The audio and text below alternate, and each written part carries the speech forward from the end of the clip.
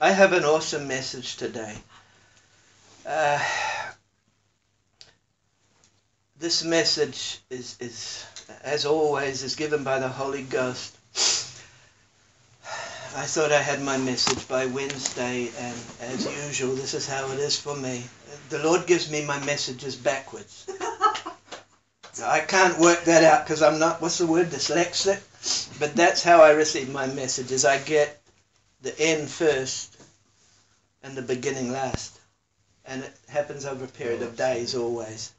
So really, there's probably three messages in one here. I don't think I'm going to get through it all. So I'll just be led by the Spirit. I'll cut off where I feel that you're all asleep and can't take it anymore. Um, No way. this is the most powerful message I have ever heard in my life, me personally, from the Lord. Uh, this is going to open your eyes.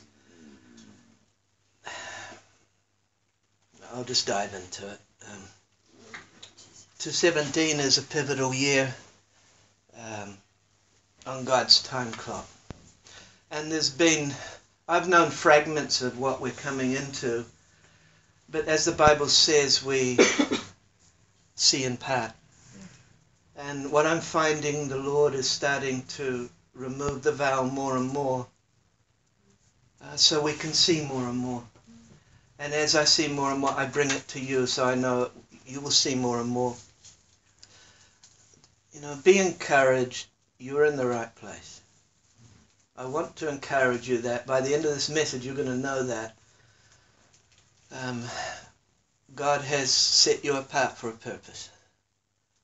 And it's amazing the revelation knowledge I'm getting is just it's it's all it's almost constant at the moment. So this is a pivotal year we're coming into and the fulfillment of a convergence of three factors which I want to tell you what they are. Um, the first one is the beginning of God's end time prophetic time clock. So as we enter into 217, it is the beginning of God's end time prophetic time clock. Okay?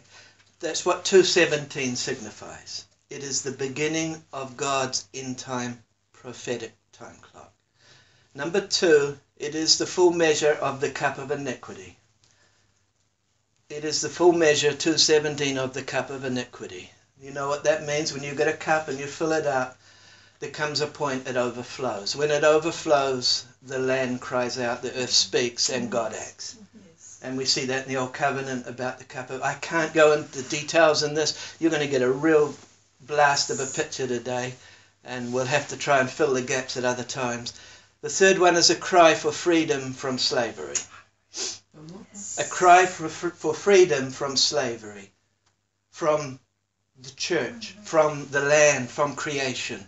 217 is a cry for freedom from slavery. The land has been enslaved, the people have been enslaved, and the cry for freedom will be heard in 217. Okay? Israel's freedom from Egypt was dependent on the same three factors. Exactly the same.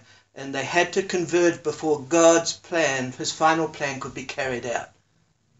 God is a God of order and timing, and, and he's not erratic. He doesn't respond um, irrationally. He doesn't respond, period. He's already got the time clock set. The thing is, the church needs to understand what his time clock is.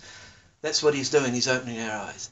So, the path to freedom is number one, freedom from bondage. If we go back in to what we class the Old Covenant, um, the Old Covenant, the freedom from bondage was the freedom from Egypt. Now, when I talk about things like this, parallel the time we're in now to the time they were in there. Because the New Covenant is only a fulfillment of the Old Covenant. Um, the second one is freedom from the wilderness, which is sin. So, first, freedom from bondage, which is Egypt. That's when you get saved. The church has been freed from Egypt. The church. The thing that most of the church doesn't understand is there has to be freedom from the wilderness as well. You cannot enter into the promised land until you have passed through the wilderness. So, although the church predominantly is saved, it hasn't acknowledged there is a period that we pass through before we enter in to the promised land. Now, where are we at at the moment? We're still in the wilderness, predominantly the church is still in the wilderness, which typifies sin. You can't go into the promised land till the sin issue's dealt with. It's not possible. So the church predominantly hasn't even got to the Jordan River yet. It's still deep into the wilderness. The, thir- the third one is the path to freedom is working for the spoils, which is once you get in to the promised land. That's when you harvest the souls. That's when everything God has given us can be taken. All these scriptures we quote about what God's given us and we've got this and that, that's fine. We're, we're prophesying when we declare it, but the truth is most are not in that place. Number four is the reward for our obedience, which is the wedding feast and the rewards given out at that time. So, very quickly, freedom from bondage, freedom from the wilderness, free, working for the spoils, and reward for obedience. Now, I want to say that we're probably predominantly stuck on number two as far as the church is concerned. There's a big shift coming, and that's what this message is about the big shift. The cup of iniquity is full and the earth itself is crying out for freedom from the weight of sin. Um, the cry for freedom can be seen in the earth itself, and this is why we shall see a great rise in earthquakes of a great magnitude. Um, Jesus had the same insight that all of us can have, by the way. When he predicted there'd be earthquakes and famines, he understood this time that we're coming into, that the earth would be so full of sin that the earth would be reacting to that sin. And he said there'd be famine, there'd be war, there'd be disease, and these things are going to rapidly increase as of 217. I'm warning you because that's the purpose of our group. Most of my messages are prophetic, and you you need to listen to them with those ears. Put your prophetic hats on. This will be what God will allow to free mankind. So this trouble season we're coming into is what God is going to allow to free mankind from its bondage and look unto Him. We can see it played out in our own group. I can see it played out in my own life over two years ago, where God allows almost catastrophic events to happen in order to shake our lives. And the purpose for that is, is to give us, because of His grace, the opportunity to press into Him. The sad thing is, most aren't pressing into Him at those times. They're running and trying to find comfort in other things, be it drugs, alcohol, sex, relationships, religion, whatever. Busyness. Busyness is one of the greatest crimes on the earth today. And just like the plague God used on Egypt, once again, God will use the methods to release those in captivity. When you read the Old Covenant, read it as what's going to happen in the future. When God sent Moses into Egypt to release them from slavery, God used him as a voice, but we know that they didn't want to listen to him, so God had to bring chaos onto the earth or allow chaos to happen. And in this case, he will allow Satan to have a fling for three and a half years. So the leaders that compromise God's word will cause many to fall in this period, sad to say. This is a hard message, but it's I hope it will open some people's eyes. Because of this, a large amount will not make it and will die in the wilderness. I'm not going to sugarcoat what the Holy Spirit's given to me. the wilderness period after Egypt will need strong leadership. Mm-hmm. It has to have strong leaders. It cannot have people that will compromise not one thing. It has to have strong leaders. And those those leaders will be people that God has set aside for this hour. And because of this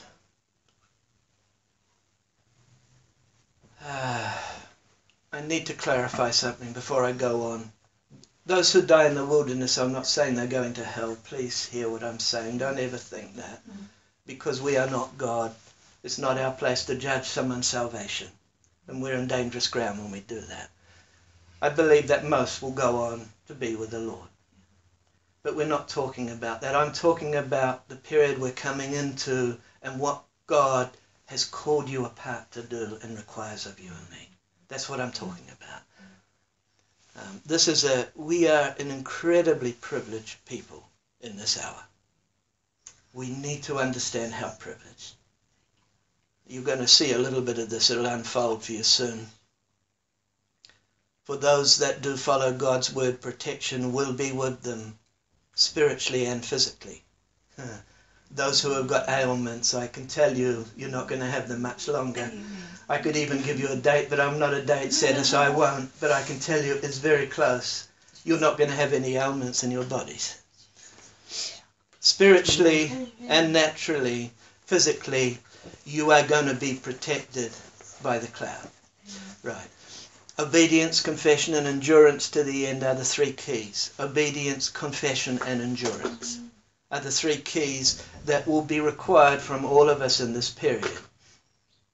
Um, be aware the enemy is not going to let go easily. He is not going to let go. That is why I jump on things in our group and even outside of our group very, very quickly because I'm not going to let the enemy take our loved ones. I'm not going to allow that. And I encourage you to do the same. Um, be quick to jump on these things. Don't ignore it. Don't think God is going to sort it out. No, God has given us the job to sort things out. Yeah, we have to be a voice for Him. And uh, be aware the enemy's not going to let go. The weapons he's going to use are three unbelief, fear, and tiredness. I'll say it again unbelief, fear, and tiredness. When you're tired, you can't pray mm. when Jesus calls you to pray with him for an hour. Mm. You can't hear his voice because all you can hear is, I need rest. Mm. Busyness is a massive problem in the body of Christ at the moment. Distractions cause a lack of vigilance, and when there's a lack of vigilance, you are a target for the enemy. We need to realize, please, I, I beg of you, look after your bodies. Give yourself sufficient rest and sleep. Do not justify it, I had to do this. Forget it. That material thing can wait till tomorrow. That visitation can wait till tomorrow. That preaching can wait till tomorrow. God, we are, our body is the temple of the Holy Ghost, and He has given us the commission to look after it. It's a sin not to do that. We've seen that play out in our group with our sister. I mean, that's the truth. And because she confessed it, God has healed her very rapidly. But that's what happens. So the deliverance from Egypt and the conquering of the promised land reveal two different levels of freedom. Get hold of this. Two different levels of freedom. Number one, freedom from slavery. Number two, possessing their inheritance. Now there's two types of slavery. One is slavery when you are bound to go to hell. That means, in other words, I am not saved. If I am not saved, I am enslaved to sin. I cannot be free from that sin. That's the first type of slavery. The second type of slavery is the wilderness slavery, which is where you deal with your sin. The Egypt, sorry, the Israelites had not dealt with their sin when they come out of Egypt. They had to deal with it in the wilderness. The problem is most of them didn't. And therefore they died in the wilderness. Mm-hmm. Unbelief, fear, and they got weary. Remember what we're told? If, if you don't get weary in due season. See? So, freedom from slavery, possessing the inheritance. You cannot possess your inheritance until you are free from the slavery of sin. Freedom from Egypt offers freedom from outward slavery, which is our salvation. The wilderness offers freedom from inward slavery, which is our sin. And the promised land offers the reward of the souls in the harvest, which is your eternal reward. And that's what matters. I had someone actually last night say to me, they felt they had wasted their life. I said, Praise the Lord, it's not over. It's not over yet. You've still got a season in your life that we've all got. that's going to count. And it's this season we're coming into. This is the season of the harvest. This is the reward you're going to take to heaven. Forget about the last 80 years or 40 years and that. Yes. Don't let the devil use that to condemn you. That was your wilderness experience, like Moses. We all had them. We all needed them to learn from it. And mm-hmm. because of that, you've got something now that you can teach others with. And those who have been crying out for God's help from their sickness, their emotional pain, their poverty, their addictions are going to be freed from these outward bondages as a sign in 217, as a sign that God is here, that He's arrived. This is a sign of the cloud. You're going to see a great revival of miracles and healing in 217. Right. The battle to conquer old mindsets is another issue. And this is where the church has to get a hold of it. Because the key to entering into the promised land is not getting healed from sickness. That's the icing on the cake. The key to entering the promised land is dealing with the sin issue. So there is a shift from the old guard to the new. Now I'm just going to step up into a totally different level here. Put your prophetic hats on. There is a shift from the old guard to the new. Every army has an elite group of soldiers. Every army has an elite group. When Iraq was taken in 24 hours, the success of that battle was because of 20 elite soldiers. And God trains an elite group. These soldiers have a special assignment. Because of their high level of discipline and commitment, they've been trained in specialized areas. They have special equipment this is what we call the SAS, I think, in this country. I don't know, Mike, in the US. But this is a soldier that is different than the average soldier. Now, I'm going to take you somewhere here where the Holy Spirit's taken me. God's prepared a group of elite soldiers for this end time battle.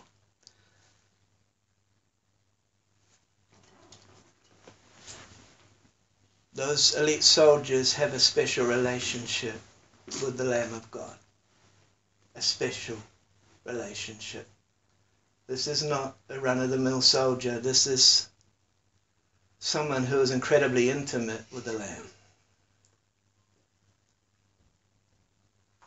Everything I say will have multiple alignments to the Word of God. This is not Martin speaking. Everything I say is in the Word of God, and you will see more than two or three witnesses on everything.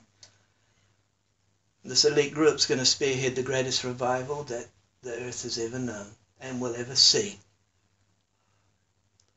And this new breed of leader that God has already prepared, already.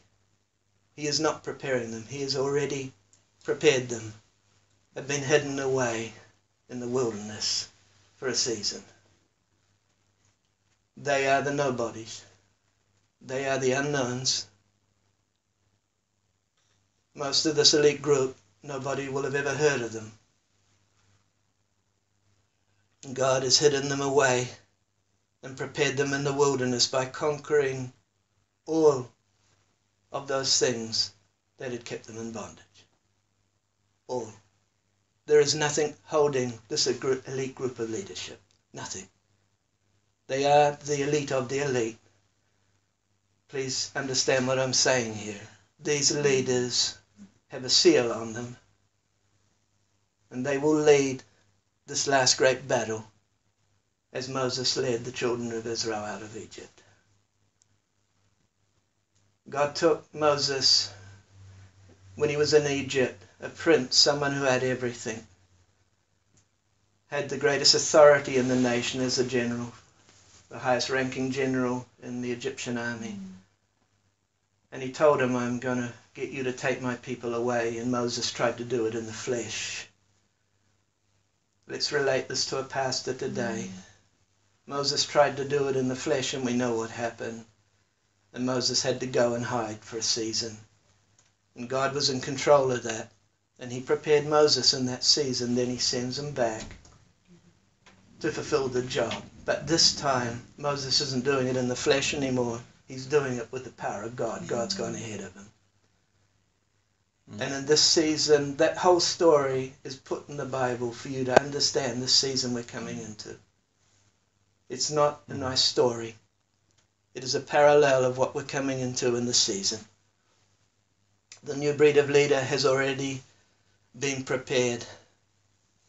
Their lives are set apart, they're pure, they're holy, they're not defiled by the Babylonian woman. In other words, they are a virgin. I don't mean that in the natural sense.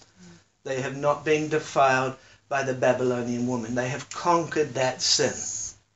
They have overcome the, the, the control of Babylon on their life. Mm. You understand where I'm speaking here. I'm speaking at a depth I hope you understand. Simply put, these leaders have been sealed for this assignment. Those of you who know your Bible will know that that is in fact what the Bible tells us in the book of Revelation. Mm. Now, each one of us have been sealed. We're, we're coming into a time that we know that this other seal will take place called the mark of the beast. I don't believe it's an actual mark. I don't believe that. As God has a seal on each one of you, Satan also will have a seal to put on people. It will not be a visible seal. But the visible part will be what Jesus said, by their fruit you will know them. You will know the ones that God has set apart by the fruit that's manifesting in their life in the mm. season. There's going to be fruit that you won't be able to argue with. I'm going to really play with your minds a bit today.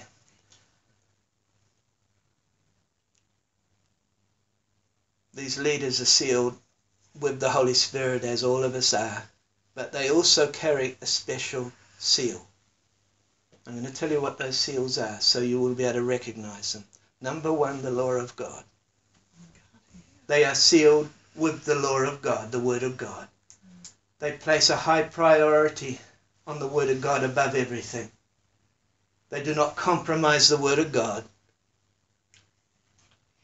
in anything, in any area. Mm. That's number one. Mm. They've been sealed with the Word of God. So they're sealed with the law of God and the prophets also. This new breed of leader is prophetic. They see into the spirit realm, they hear in the spirit realm. They're a double edged sword prophecy and the Word of God. The two go hand in hand. Mm. You cannot separate the two to have a double-edged sword. Hmm.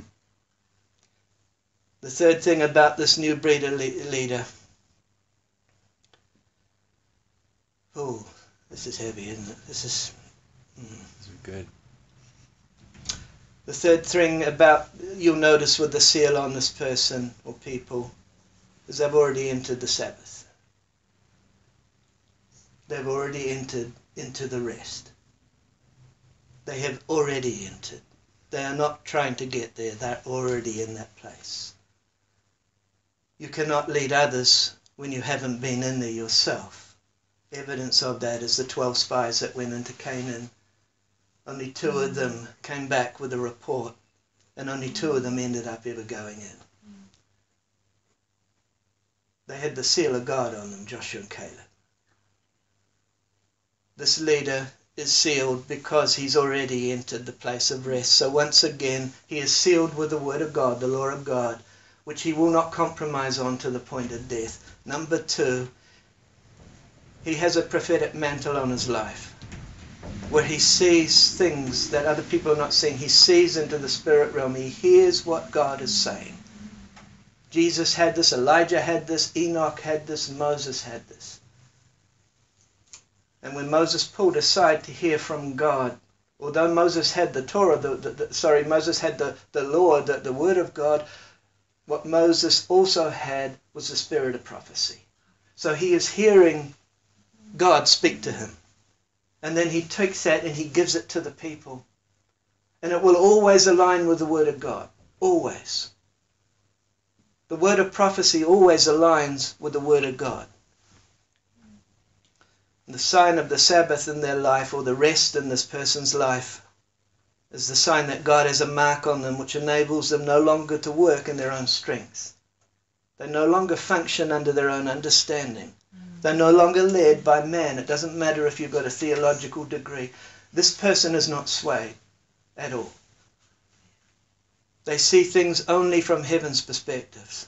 And that always aligns with the Word of God. The Word of God says, I gave them my Sabbath that they may know as a sign between me and them that I am the Lord their God. That's Ezekiel verse chapter 20 verse 12. I gave them my Sabbath, my rest, that they may know as a sign between me and them that I am the Lord their God. There is a sign for you that this person, these people, this this this new generation of leaders are sealed by God. They've already entered the rest. You can judge yourself those persons.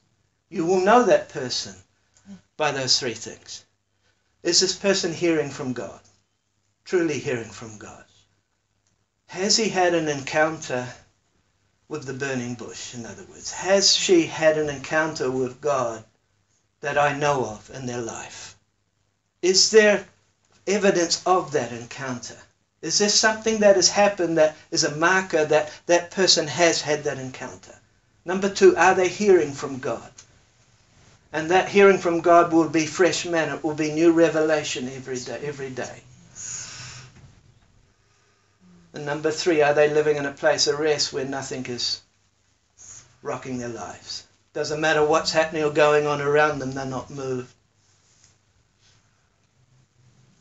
These leaders hearing directly from God who follow the Lamb will be the ones leading the people through this season, this wilderness season ahead into the promised land. We need to take this serious. Those who didn't take Moses serious died in the wilderness. Align everything I'm saying with Scripture and take it away and, and seek the Lord over what I'm saying. These leaders have already gone ahead and have seen or spied out the promised land. They've already seen it. They know how to go there. They've been there already. They've, they've come back. And the reason they've come back is to give a report. We're going to make it. We're going to get in there and it's good. Mm-hmm. They have been there themselves. You cannot give what you don't have. Can you understand my methodology and right? Mm-hmm. Um, they know the path. They've already travelled it. They know exactly what's ahead and how to combat the enemy. I'm not saying follow man, I'm saying follow God. The evidence who these leaders are, they've spent so much time preparation in his presence, had an impersonal encounter, and they carry the spirit of the two witnesses. Now, this is a level of revelation I want to open to you today. There's two witnesses spoken of in the end times that will come upon the earth. I have Mm. struggled over who these two are for some time until the Lord opened my eyes late last night and gave me a revelation. I'm going to give you it, and I know your eyes will be open straight away. The two is Elijah, we knew that. Elijah represented the prophets, he was the greatest of all prophets. And there's Moses. And Moses represents the law. He represents God's man who God gave the law to. Mm. This is the two witnesses that will appear in this season. I'm talking about 217. 2017. This is not two literal people, so I'm just going to squash that right now. This is the spirit of Elijah. This is the spirit of Moses. This is a double-edged sword. This is the same two that met Jesus on the Mount Transfiguration. Hmm. This is the two that held his hands up and supported him in his greatest need, in his greatest hour of need. Mm. Mm.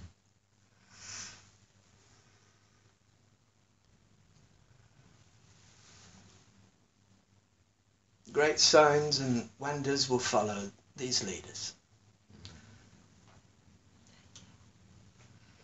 From the time of the final sealing of the Holy Spirit, you're going to see great signs and wonders happen. I'm not going to date set because people get offended with date setting. But let me take you back to the book of Acts, to the day of Pentecost, when Jesus said, Don't do anything, wait. Mm. That's the message for you today and those who are hearing. Don't go out and try and win the world for Christ. Wait. Wait. Wait. Because there is coming a day, and it's very soon next year. And the Spirit of God is going to reveal Himself once again. Mm.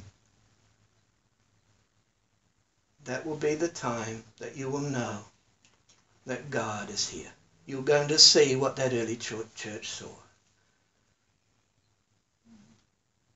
The fire that sat upon their above their heads is the same fire that Elijah carried. Wait, in Jerusalem, by the way, who is Jerusalem today? The new Jerusalem is you and me. Wait until that day comes. Don't worry about anything. Mm-hmm. Because it's all about him from there on, because we know what happened with them after that. They went out, they went out, all. And within one day, 3,000 were saved. Why? Because they are carrying something very, very special, very powerful. This is for you. This is not just for these leaders. This is for all who wait for that time. Mm. And I'm not saying you're not those leaders because that's God's business. But I think you already have evidence of, of what the signs are of those leaders. If they don't have those three signs, put a cross beside them. Don't follow what they're saying. It's dangerous. Mm. The timing of this will be when the final one has entered into the place of intimacy. Then suddenly this great outpouring is going to happen. I think you already can work out approximately the time frame if you know the Hebrew calendar. What do I mean by the final one comes into place? Well, on that day of Pentecost, there was 12 disciples bar one. His name was Judas. Judas had betrayed the Lord and they were told to go and find a replacement for him. When the replacement came, that's when the Holy Spirit came. That's when the Holy Spirit came and this great outpouring happened. God is precise in his timing. So when how many of these leaders are there in the world? I'm going to tell you soon. I think you know already. When that happens, when the final one comes in, that's the time that this great outpouring will happen. 217 is a pivotal year for us. Hmm. Literally, when the final one comes in, there's unity. It's like a jigsaw puzzle, it's complete. On the day of Pentecost, they were all together, all together, in one accord. And suddenly. So, two keys here, all together, meaning God will not run ahead of this. This has to be complete. The number of these leaders have to be complete. When it's complete, that then creates the unity that's needed to take the church through into the promised land.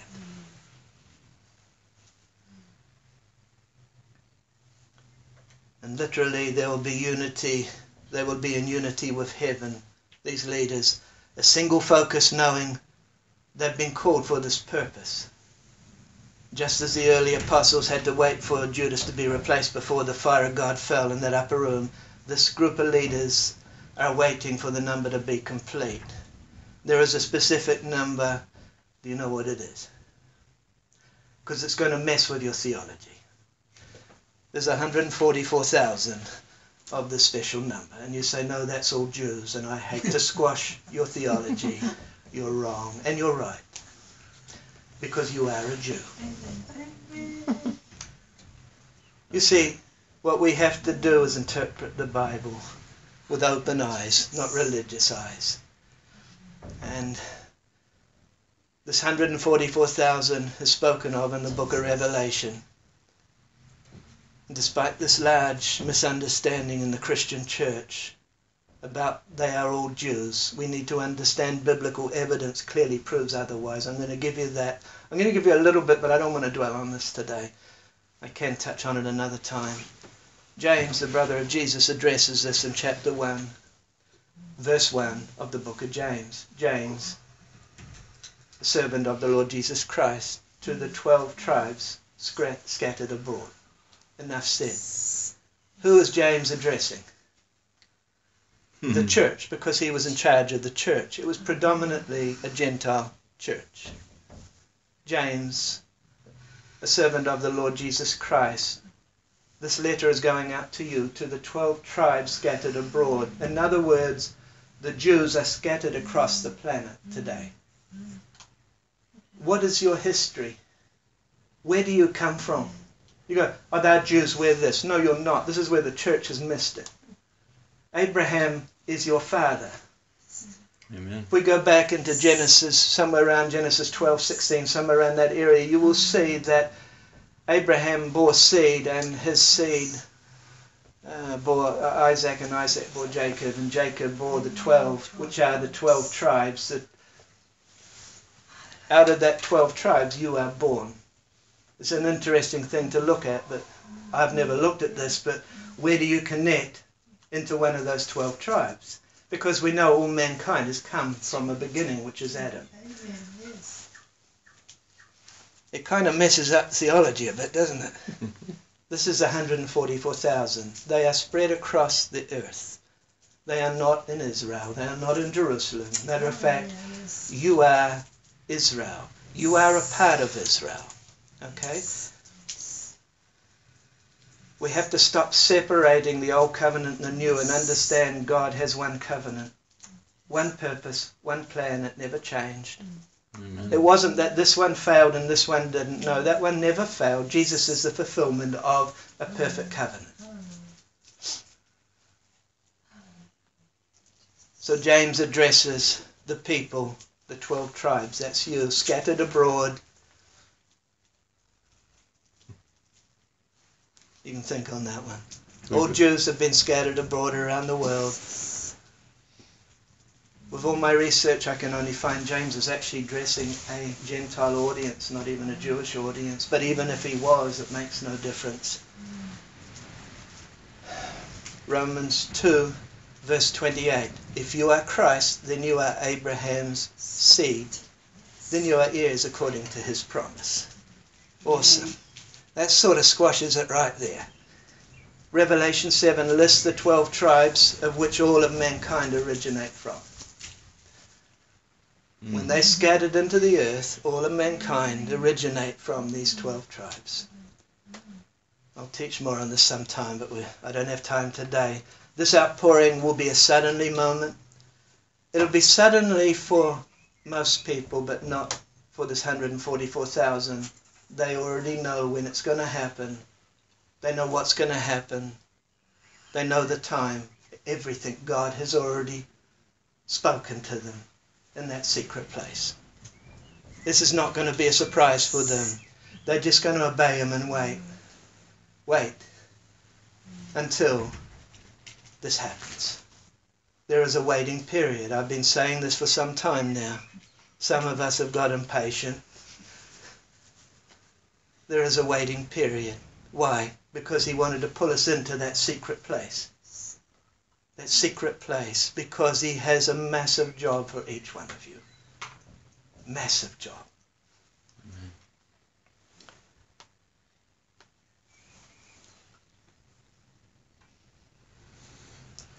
The first assignment will be to those.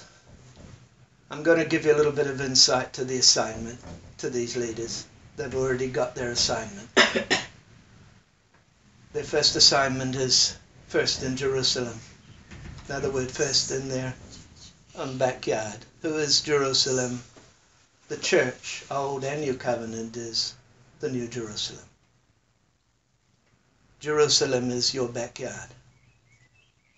Jesus gave very strict instructions to his apostles. Wait. Do not go anywhere. Do not do anything. Do not preach. Wait until you have been endued with power from on high. This is not speaking in tongues. This power is stuff that will blow out water. This, whatever you command will happen. This is power that you saw in the early church magnified many times over. Wait for this. You're going to receive this. This was the instruction. But then he went on straight after that and he said, Then you shall be my witnesses first in Jerusalem and then Samaria, then the uttermost parts of the earth. There is an order that this 144,000 and all of us, for that matter, have been given the same commandment. Our, our, our, commission is our first, our families, our friends, those who God has placed around us in our workplace, those who God places around us in the coffee shop or wherever we go, whatever we do. You're going to carry something that is going to change these people's lives and turn them upside down. So the commission is wait. There's a very strict commission here not to go to the Samaritans and not to go to the Gentiles. You know what I'm referring to, the scripture. Okay, who was the Gentiles? Who was the Samaritans? The unbelievers. So here's another key here. The first commission is for the church, to the church. Hmm. To the church. That is the first commission. Do not try and go and win the lost win the household of Israel was the commandment given. Mm. That's the first commission. Mm. This is the commission given in this hour to come. Mm. Those of you who have already got that stirring in your heart for some time, it's the it's the church that I've got to reach. Now this will sit with you and you'll understand why. Mm. Do not go to the Gentiles and the Samaritans to start with. There's coming a time, of course, we know that will happen. But first, the church. Why? Because the church needs to change. The church needs to become the witness that Christ died for. Not a false witness, not a whore, a Babylon, but the church that he died for. And their testimony will be of a supernatural encounter with God these 144,000. And this encounter is ongoing. It, it wasn't a one off, it, it's an ongoing process where God is speaking to them and giving them direction and going ahead of them in every situation.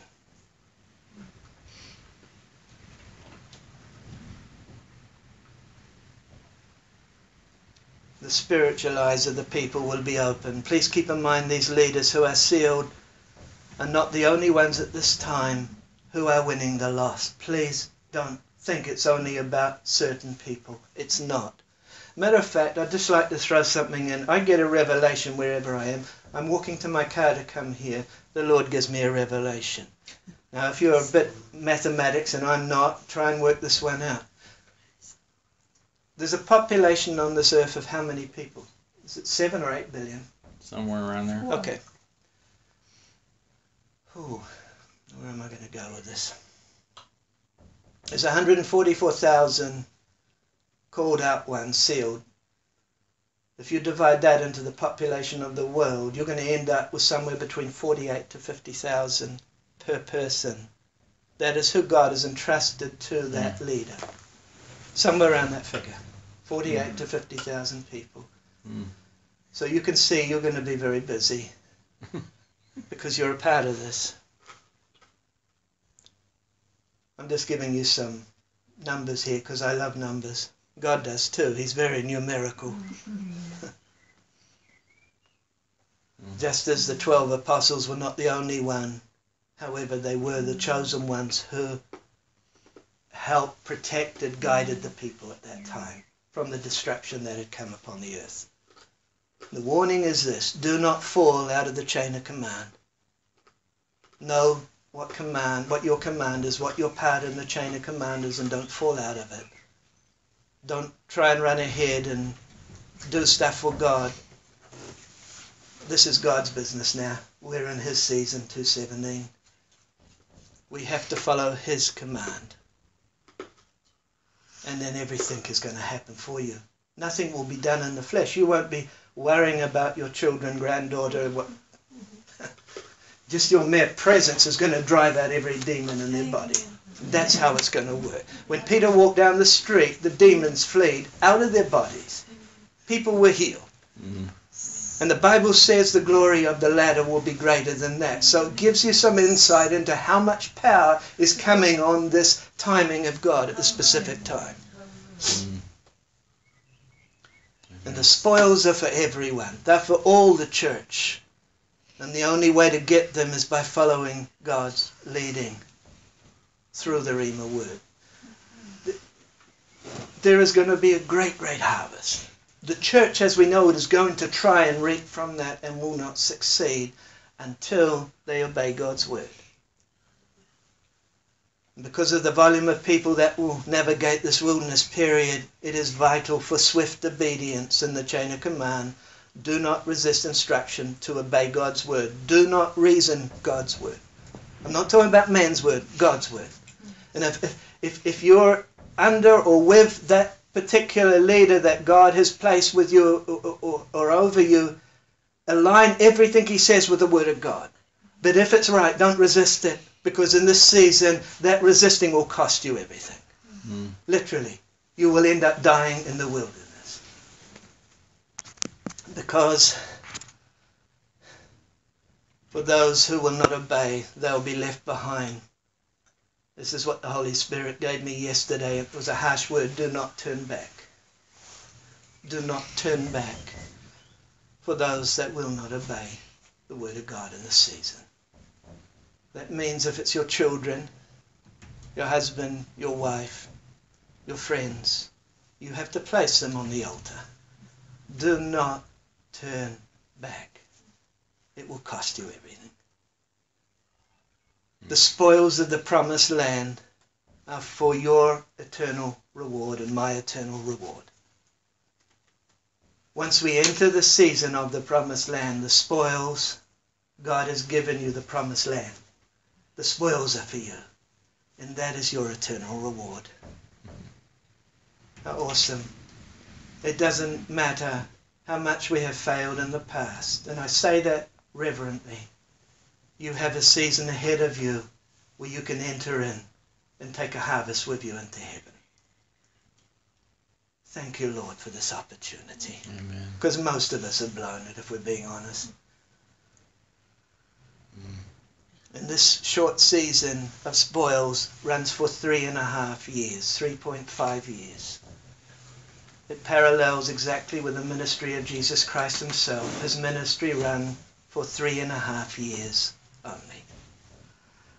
That was the season of his ministry, 3.5 years. That is the season of this ministry that is going to be so important for you and me.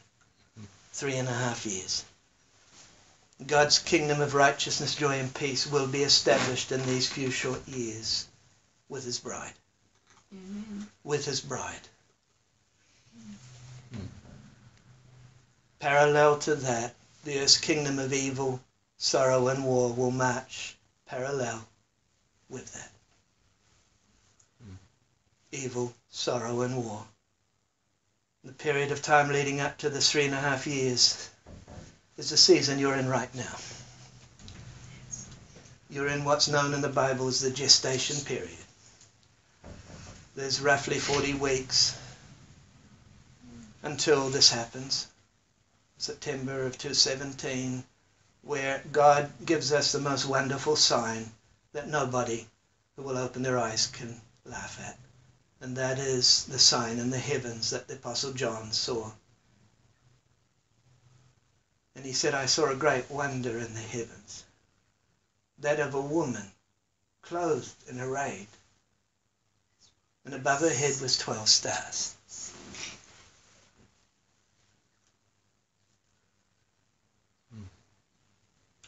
Twelve, yet again. Mm. And we know the scripture, I won't read it, but she gives birth to a child. That woman is the church. Beside her is the great dragon that is so angry because of what's just happened at that time. He flicks a third of the stars to the earth. Those stars signify angels. As we all know, a third of the angels were cast out of heaven. The book of Ezekiel, we can see that. But the second heaven is their territory as well as this earth. And God throws them out. Satan is so angry, he sends all of his troops to the ground. And an onslaught of Satan starts to happen at this time. There is a mass spiritual battle going on from this period for three and a half years. Like we have never encountered. You think you've had it tough? Forget it. You need to laugh at that. This is going to be something you have never encountered. That's why you have to be out of the wilderness in this season. Otherwise, the Bible says men's hearts are going to fail them because of fear of what's coming upon the earth. Mm-hmm. You will not be able to cope with this if you're still in the wilderness at this time. Mm.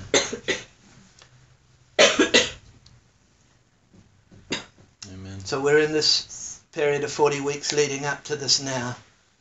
What changes do I need to make for this journey through the wilderness? Some of us are near the end by the River Jordan. We're just waiting. We're just waiting for the shutters to come down and take off through that river. And some of us are still stuck in the wilderness. Now, praise God, I've seen so much happening within our own group, people's lives, so much change. It looks bad on the outward, but I want to tell you it's wonderful. What's happening in the lives of people at the moment is wonderful. God is preparing each person. Do not look at the natural signs. What preparation do I need to make individually for this journey? what preparation do we need to make corporately? I don't really want to answer the second one yet because I don't think the timing is correct. But uh, individually, I will answer. Now, that, none of that was my message, by the way. That was what the Holy Spirit gave me last night. So I, I won't keep on with my message for too long because otherwise you'll have information overload but I'll give you a little bit of it. My message today was Why Are You Naked? It's a good title. Why Are You Naked? And I'm not pointing that at anyone here. It's just the title of my message. Why Are You Naked? Unity is such a powerful force for both good and evil. Unity. Without unity, nothing can be done. Nothing. When man aligns with God's word, he has the backing of heaven behind him, and he has the provision of heaven behind him, and he has the protection of heaven behind him. Unity is everything. Unity for good or evil is everything. The problem with Satan's kingdom is it's not in unity. It's a mess. Whereas God's kingdom is unified. And when we try to negotiate unity, in other words, when we try to compromise God's word, division takes over in our life. We only have to compromise just a little. I, I don't need to tithe, really. That's old covenant. We have compromised on truth. Why? Because we think we know better than God's word. So when we compromise, we're out of unity with each other, but more so, we're out of unity with heaven. So unity is everything in this hour. Mm. And a house divided against itself cannot stand, the Word of God says. So what divides a house is one person who will not align with God's truth. Nine months now, I've been focusing our group on preparing for His coming. As a matter of fact, that's why originally we were going to call ourselves the Bride of Christ. Then we decided not, that that's actually the commission, is to reach the bride of Christ, to prepare the bride of Christ. Hmm. The reason I've focused, just keep pumping the Word of God the way I have, these, these prophetic messages, is to bring us into a place of unity. Because we've got to be ready for what's coming. This is a, a strong warning. Please take heed of what I'm saying. We must be in unity before the season. And anything less than unity, I'm not willing to pursue. I've seen the fallout of some who would not unify with the Word of God. I've seen the damage already in amongst our brethren. My message has been solely focused on this purpose, and for a good reason. The Holy Spirit showed me some time back, quite a long time ago, what qualifies someone to be part of the bride of Christ. I know the qualifier. What tell, Jesus tells the story there of the ten virgins waiting for the coming of the bridegroom. We know the story. Five are wise, five are foolish. But most overlook the qualifier. What was it? Five were wise, five were foolish. The beginning of wisdom is the fear of the Lord. The fear of his word is what made five wise. Mm. The foolish did not have fear of God's word. They didn't have the fear of God. Mm. If you look around today, has the church got the fear of God? Predominantly, I think you can answer that yourself. Mm. Five were wise because they trusted the word of God and mm. obeyed it. Mm. The fear of the Lord, Proverbs 9, the beginning of wisdom. That fear is a respect, is an awe, it's an obedience to God's word. And it makes the time to spend with the Lord. And I really want to get that in today to each of us. Make the time. Make the time. Make this your highest priority from here on in. Make the time to seek the Lord. Be honest with him. Cry out to him. Say, Lord, teach me. Let me hear what you're saying. Human beings are called sheep for a reason. Without sounding rude, I know, because I was a shepherd. Sheep just follow. We've got to stop that in the church. Don't just follow me. Don't follow any man. Follow the word of God. Mm. Amen. The church has followed man for, for, for too long, and because of that, often the blind has led the blind. And both have ended up trapped. Paul said, talking about the Bereans, he, he, he said, these people were wise. Why? Because they took what they heard and they studied it out. Mm. We need to learn. 2 Corinthians 2.15, we all know it, study to show yourself approved. A workman that is not ashamed. Powerful scripture we've all quoted probably dozens of times. I'm going to show you a revelation with it. Ashamed of what? Ashamed of what? Study to show yourself approved, a workman that need not be ashamed. Ashamed of what? So if we look into Revelation, we'll see what that shame is in chapter 16, verse 15. Behold, I come as a thief. Blessed is the one that stays awake and remains clothed, lest he be found naked. I know what it is to be found naked in an earthquake when you've had to run and you've got no clothes on. It's very shameful. Well, the same thing here. This is what happens. When he comes, blessed is he that will not be found naked. What does it mean to be clothed? To be clothed in the robe of righteousness. Mm. The robe that's been bathed in the blood of the Lamb, that has driven out every sin. Mm. When Jesus comes, many will be found naked, not wearing the wedding garment, and we all know you can't get into the wedding without the garment. Revelation 3:17, but you say I am rich. I don't need of anything. This is the church of today's hour, the church of Laodicea. But you don't know. This is Jesus talking. You are wretched. You are pitiful. You are poor. You are blind. You are naked. Stern words for the church of this hour. We need to take it serious.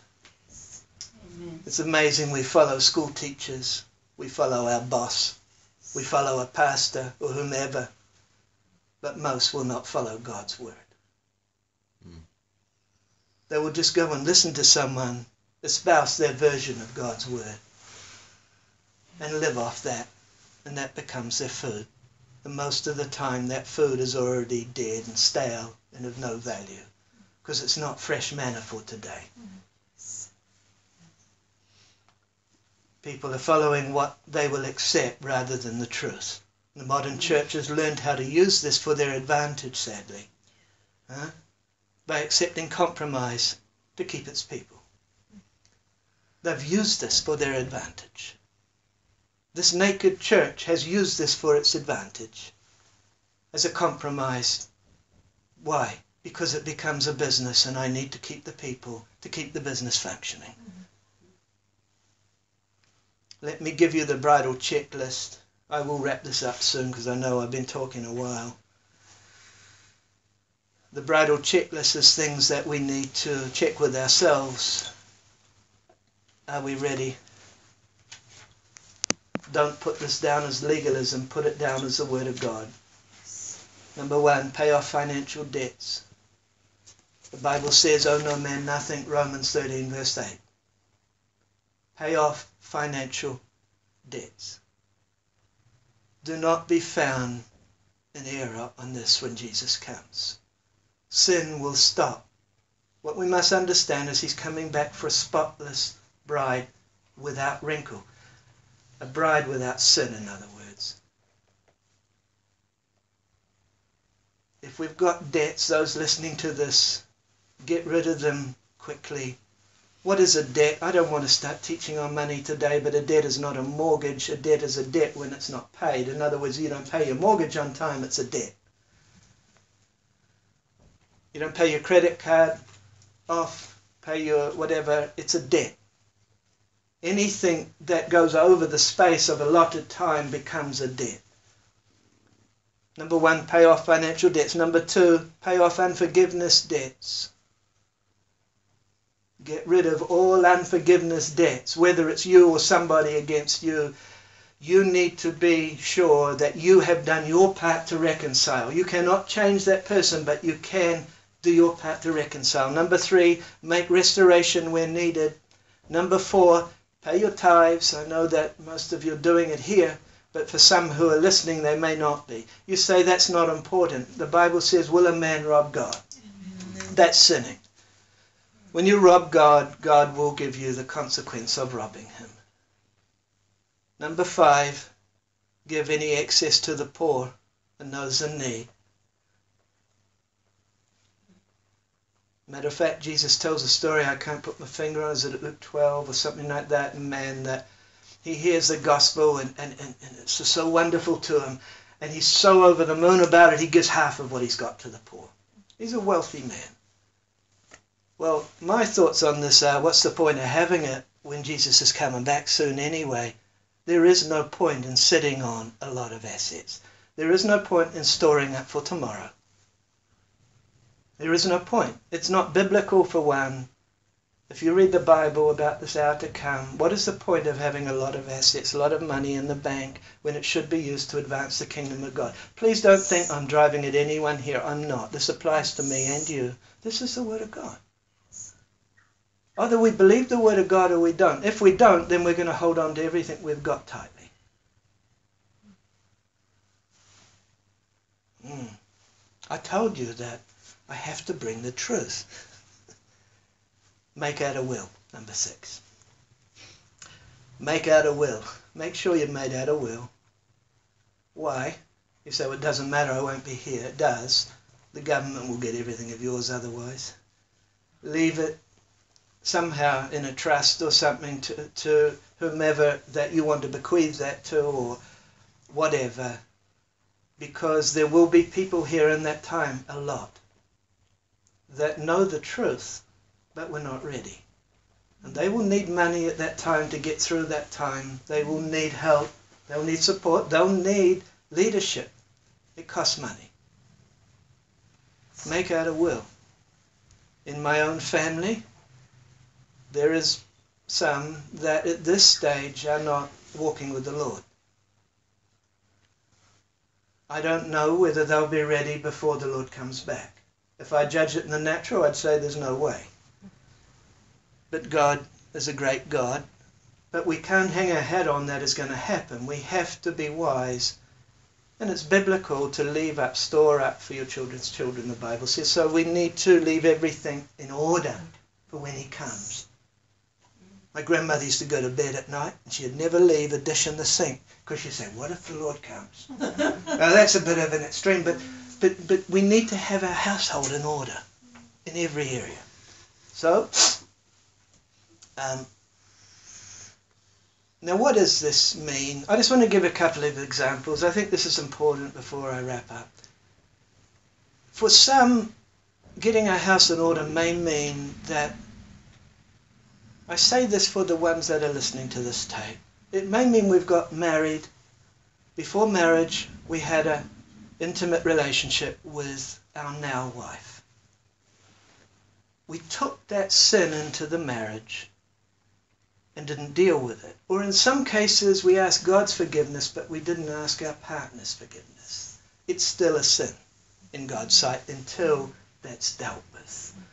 And this is what causes most marriages to reverse, by the way. Where you see a woman leading the man, this is usually the reason why. This sin of, of, of not repenting to each other for that is still alive in that marriage. Even asked God's forgiveness, got nothing to do with it. That's only part of the story. You've got to ask each other's forgiveness.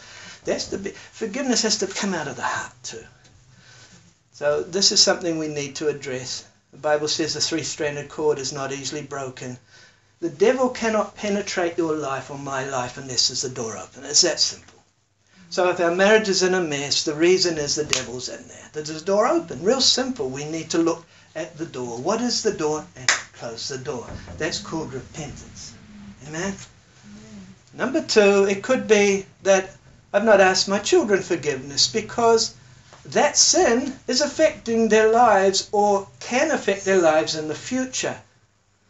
It is a sin to not go to my child and say, Forgive me for I've allowed sin in my life to affect your life. We need to shut the doors on sin. Number three, maybe I've allowed fear to stop me standing up for the truth. These are just examples. Number four, maybe I've not obeyed God with my finances. Genesis 11, we see the story of the Tower of Babel getting built. And we see that even God says they were so unified. If I don't mess this thing up, they're going to reach heaven. So God messed it all up and they become disunified and they start speaking another language. They don't understand each other. And that's really a powerful concept because we've got to realize that the church predominantly is speaking another language that God doesn't understand. We've got to speak the right language. It's His Word. So the language God gave them became a different language. The language God has given the church today has become a different language. Why? And you can see the fruit of it. It's called disunity. You can see the division in the church. That's why. The language is all messed up. They're speaking a different language than God. And whilst they spoke one language, they had to do, the ability to do anything they wanted. They were one mind. But when God messed up that thing, their project collapsed. The story of the church for 6,000 years. Acts 1.14 on the day of Pentecost. Sorry, they were all together. Sorry, Acts 1.14, they're all together in one accord in prayer and supplication. Oh, that's what we need to do more. Come together and pray in supplication and unity. Acts 2, uh, sorry, Acts 1.16, they were all together in one accord and were not afraid to make wrongs right with each other. Powerful scripture. We just overlook so much of this. Yes. This is all preparation for this day that I'm talking about. And often when a group is seeking the Lord for revival and the Holy Spirit reveals hidden sin that needs to be dealt with, instead of unifying with the Word of God on the matter, the sinner breaks unity and goes off and does his own thing. And we think, praise the Lord, they're doing great things for God. And the truth is they've broken unity with God, trying to do their own thing. We need to be wise in this hour. What's happening? On the day of Pentecost, they were all together in one accord. Amen. Unity. Unity. And where there's unity, there God's going to command the blessing. Where there's unity, there's power. Where there's unity, wherever you go, I'm with you and you're with me. We are one accord. We are together. When you pray that prayer, is holding me up when I go out in that day.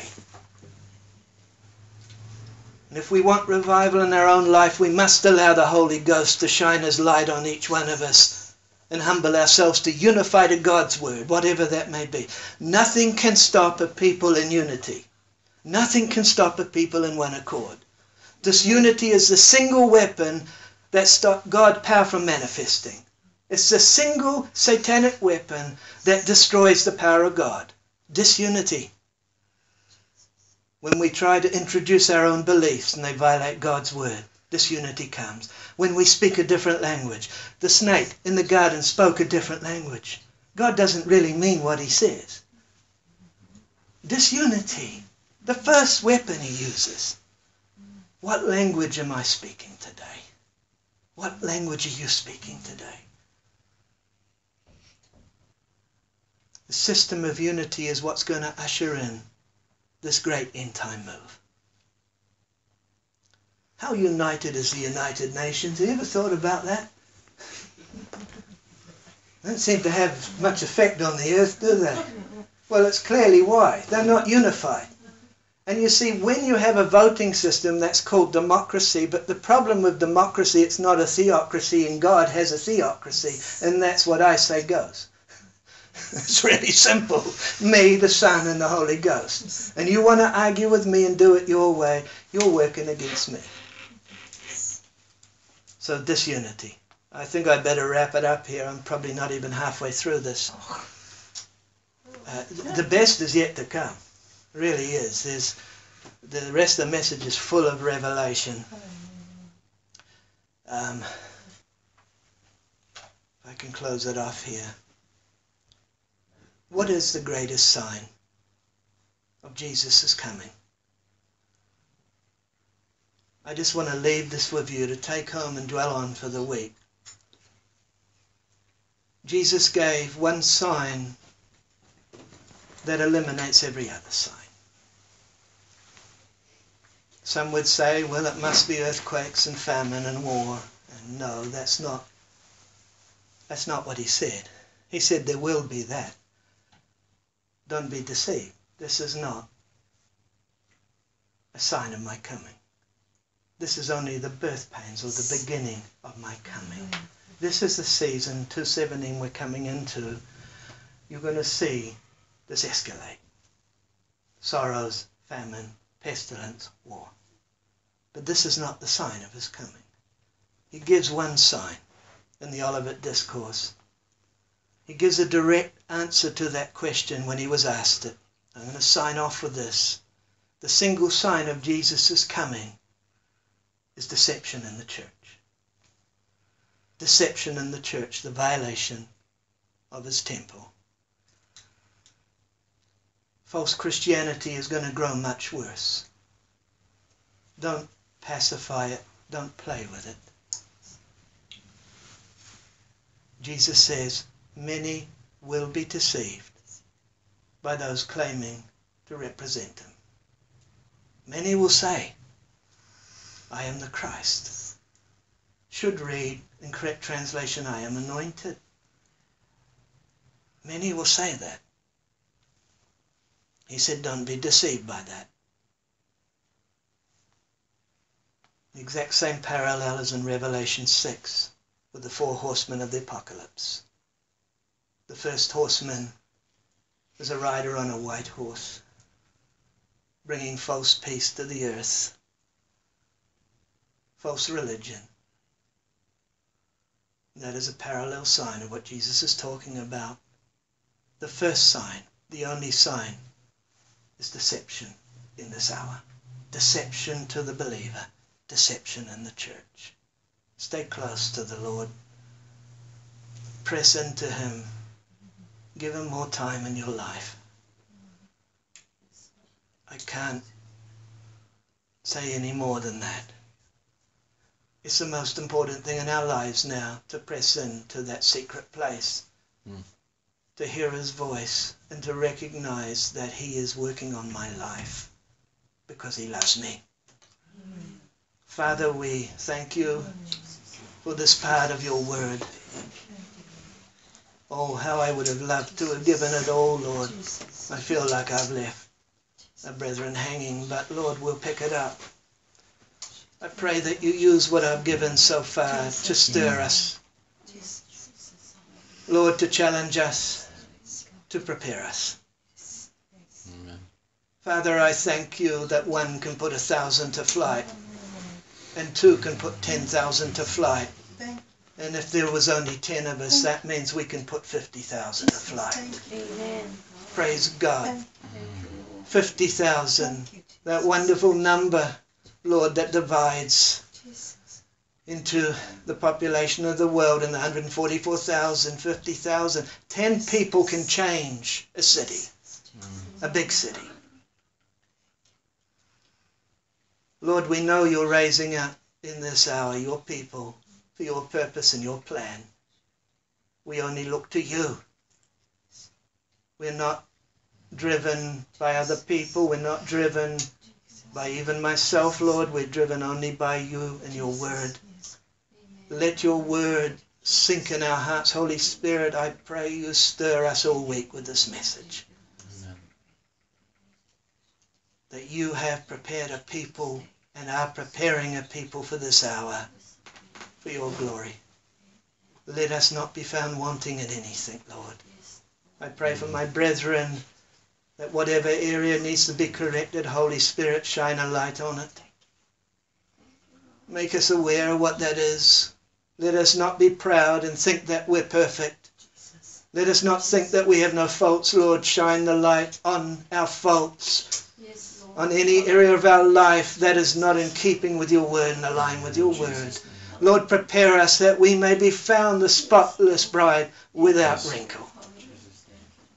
Thank you for the privilege of this hour, Lord. We love you. We want to honor you. We ask forgiveness for any baggage that we've carried through this week. And we lay it now at the cross, Lord.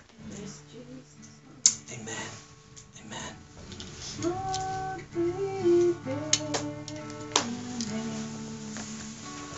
To be a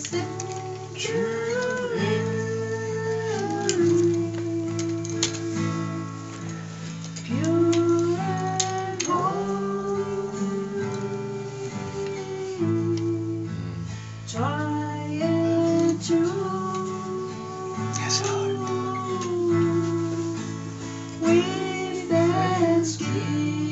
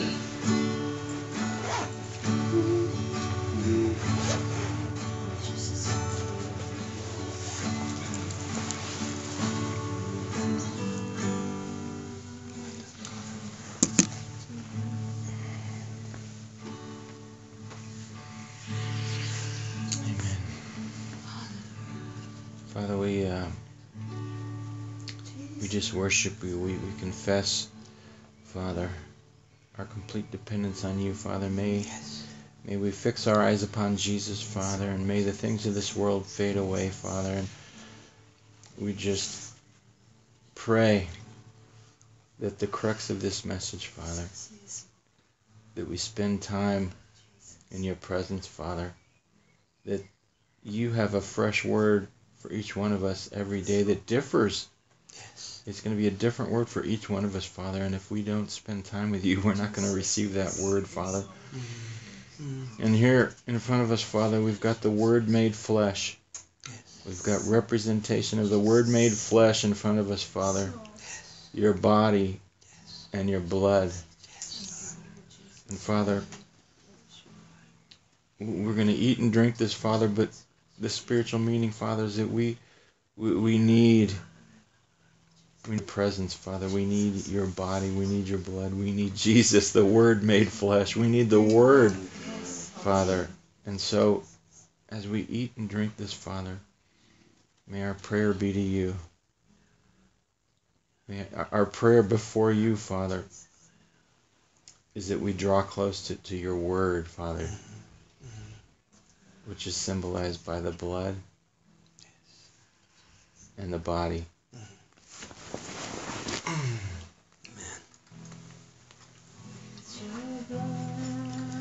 That cleanses me. It's your blood that gives me love.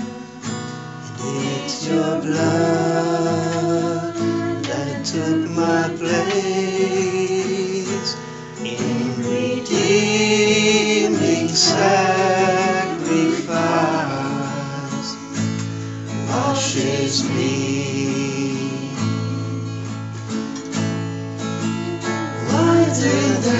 snow.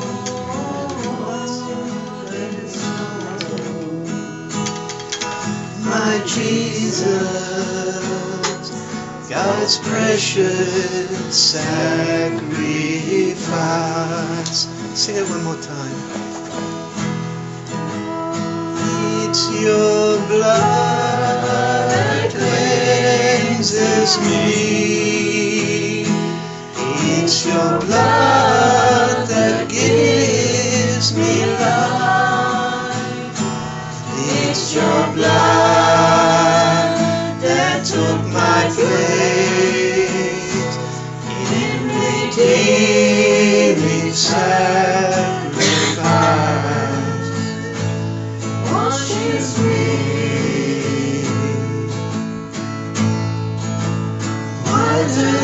the snow, than the snow. My Jesus, God's precious sacrifice. Amen, Father. We we read in Corinthians, Father, that you warned us about taking communion, Father, in, in, in a manner that's unworthy, Father. Mm, and, and really, it's it's in a manner where we don't take sin seriously and we don't examine our lives, Father, mm. and, and confess and repent, Mm. Father, from any anything in our lives. Father, so right now, Father, the things that, that your Holy Spirit was speaking and convicting us of mm. when we heard the message that you gave us through Martin, Father, we we just in each one of us, I'm sure, has different things, Father. I just uh, we just want to spend a moment, Father, uh, confessing and repenting of those things.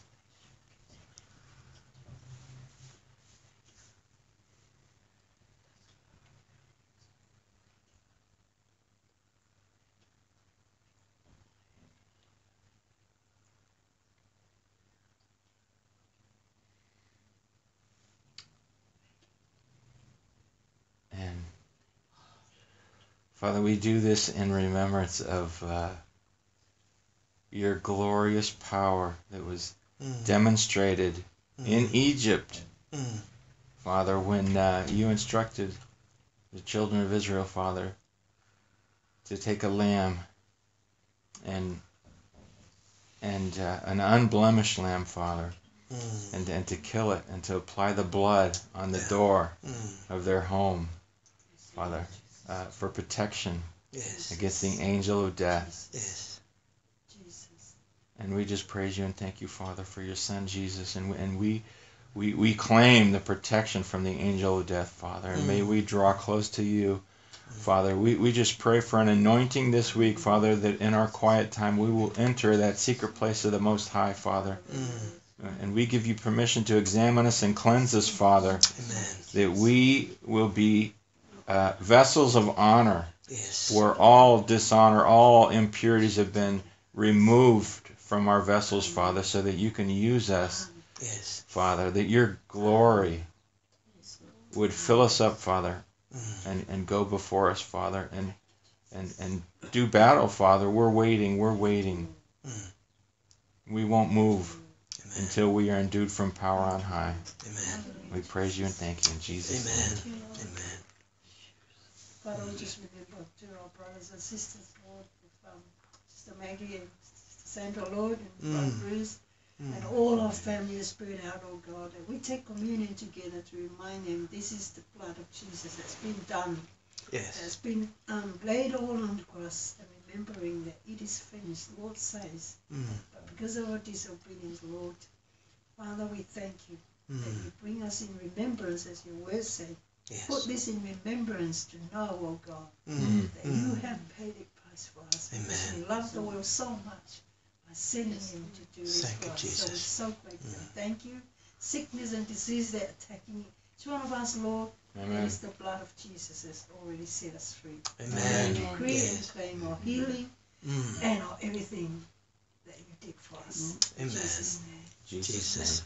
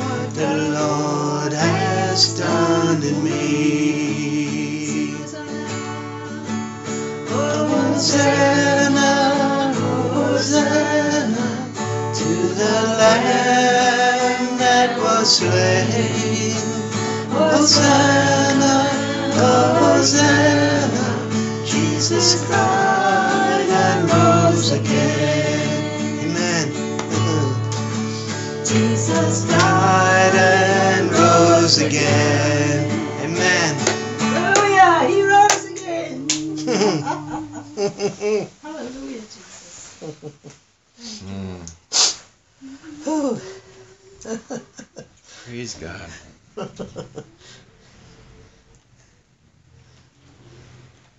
Can't wait to hear the second part.